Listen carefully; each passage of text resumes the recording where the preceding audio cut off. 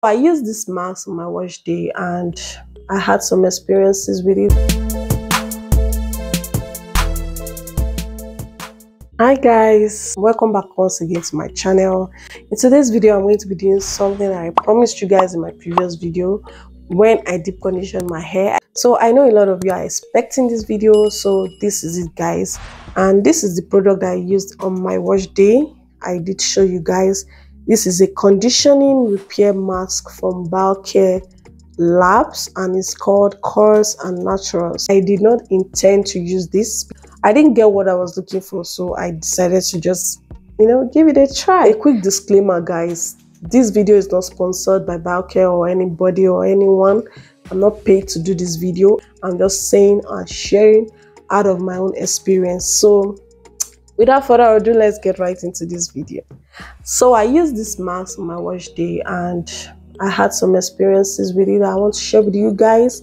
And if and if not i'm going to be getting this product again. So the first thing i would like to talk about is the consistency of this mask. So my first impression with this was that it was too thick. So now you can feel like it's running because it's just coming out from a heat you know environment. So that is why you even see it's, you know moving initially when i got this and i opened it i did show you guys in that video. Um it was very thick. It has like this pap consistency. So it's so thick. And I, that is one thing i don't like about that. So a few of you guys commented on that video that i should mix it with some water which is true because in my first wash i used this alone.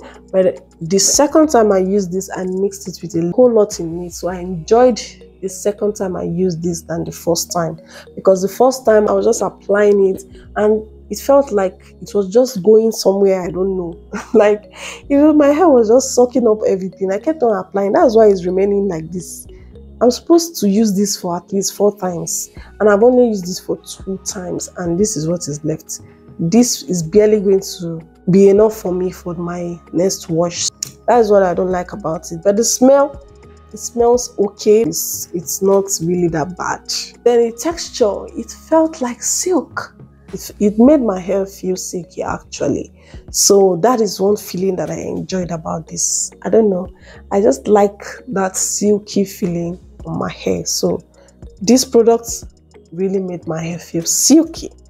The ingredients contained in this product are water cyclopentacil ah guys i'm going to just drop the name in the screen and let you guys just go figure that spelling that pronunciation out because it spoke a lot about moisture keeping moisture keeping moisture so that was one of the reasons why i got it because I didn't see anything too bad in the ingredients apart from that second one which I'm not able to pronounce.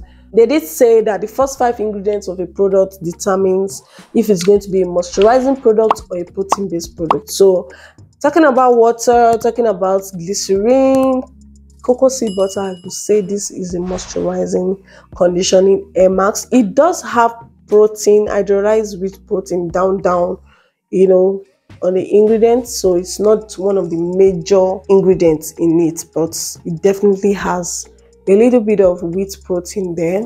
Am I going to get this product again? Mm, no. And the reason is not because it's not a great product. I don't have anything against it either. I'll give this product a 6 out of 10 because I am not really crazy about it, but it's still good. Like if you're just starting out and you just need something, it's good. If you have other deep conditioning hair mask that you like to suggest for me please put it down in the comment section. I like to try out a few conditioners. This does not change my routine. I still do my routine. I still have my staple products.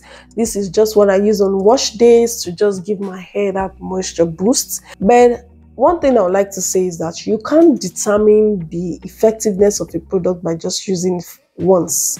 Like it's not done. You have to give that product at least six months to be able to see what it does to your hair, if it's something good or not. Then you decide whether to ditch it or to embrace it. So I see a lot of people just jump from one product to the other because they're looking for one product to give them a certain kind of feeling it doesn't happen that way guys. You have to give products time to work on your hair. And sometimes our hair don't like us using different things at different times. So you want to make sure to give it some time then you now know if that thing works or not.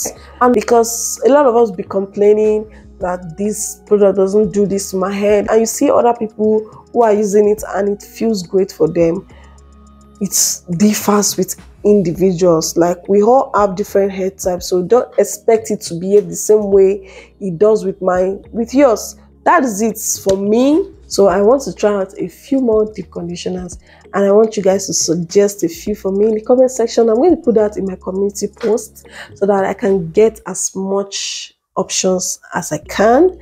So i have a few in mind already which are popular but I still want to get the feedback from you guys and I'll see if it's something I can try out.